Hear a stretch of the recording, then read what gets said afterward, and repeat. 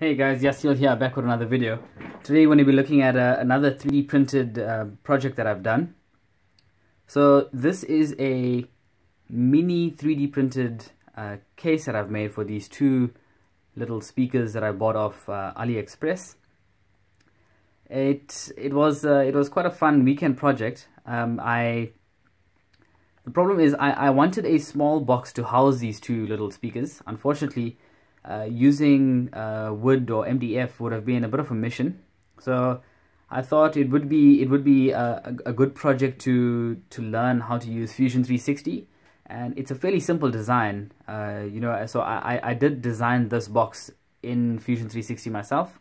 Uh, one of my first few uh, few designs that I've done. Um, you know, just uh, by myself without using anything else that I found online, and it was quite a fun project.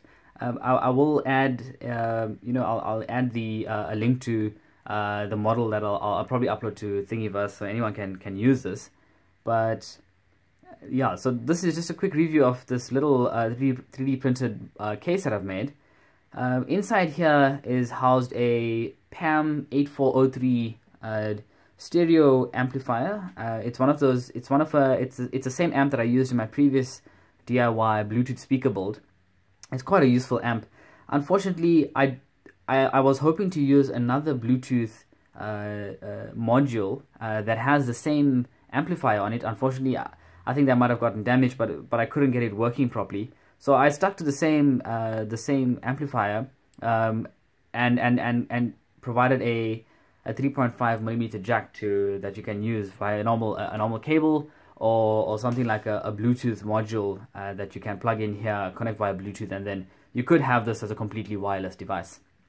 Um, and then a little toggle here to turn the device on and off. Um, and and yeah, that's about it. And then oh, sorry, uh, the the battery inside. So I can, I can, actually open this up and show you guys what's inside. Um, so fortunately, I designed the back cover to be just just about right, so it can actually snap into place.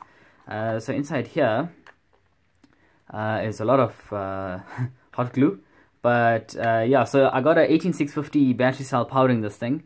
Uh, and then I got a the TP4056 mm -hmm. lithium ion charger and discharger. there's the, the PAM8403 amplifier.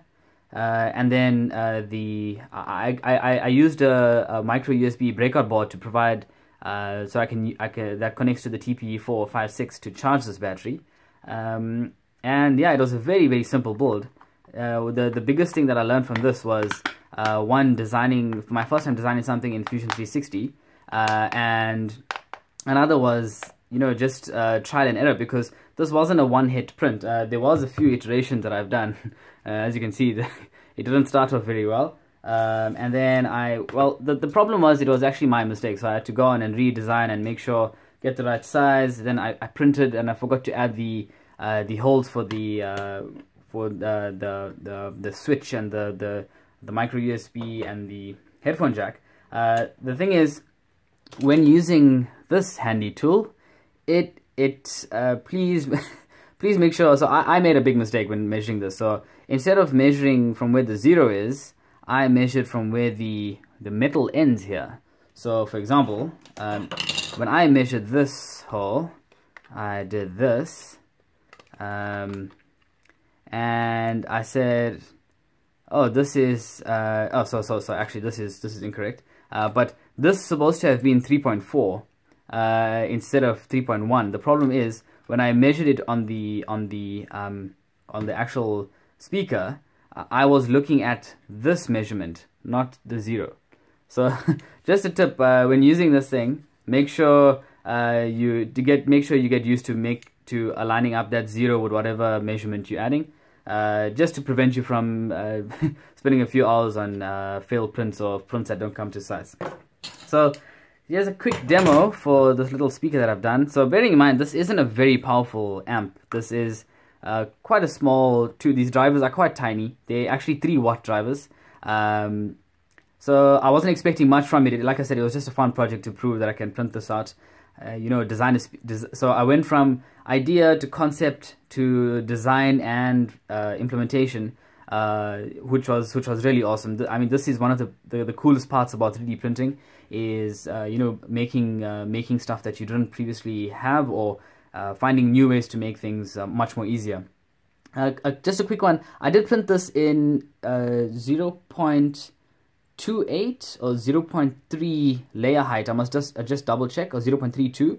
I didn't use a very low layer height to print this. So just a just a, a, quick note in that. Remember, the lower the layer height, the finer the quality. So I, I, there wasn't a lot of detail in this print, so there wasn't there wasn't a need to go high quality. So that's why I went for a, slightly higher layer height, which uh, reduced the printing time, uh, you know, by a fair amount. So I'll I'll connect this up to um, to a phone that I have here, and just to play a video from one of my other uh, one of my time lapses that I've done. So let's play that and turn this on. Oh, okay, that's a bit loud.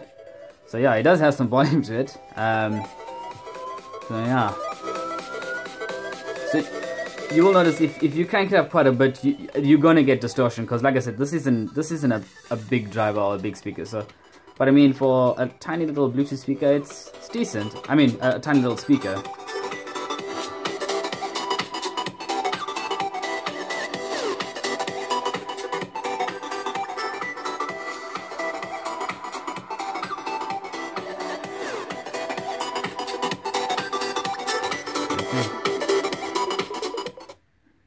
So let's restart that just to it high. So yeah, you can start. There you go. You can. you can. Yeah, you can't take too much of abuse. Um, but there you go. I mean, this is. Um, like I said, this is one of one of a, a nice, cool. It was a Sunday, nice Sunday weekend project. Um, so uh, yeah, I'll, I'll provide a link to my to I'll put this up on Thingiverse. It's actually currently as of recording this video, it's not up, but I'll definitely uh, share this uh, share this design with you guys. Uh, so I'll I'll leave the link in the description below. But yeah, thanks for watching. Cheers.